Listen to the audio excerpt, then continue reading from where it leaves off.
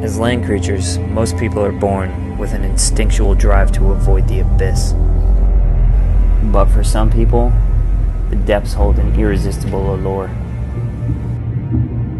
I've found that more often than not, the places that we're told that we should avoid because of what we can't do become the best places to find out what we can do. The things that we're told to fear become the challenges that define us and show us that fear is not actually meant to be feared. It's simply meant to be faced.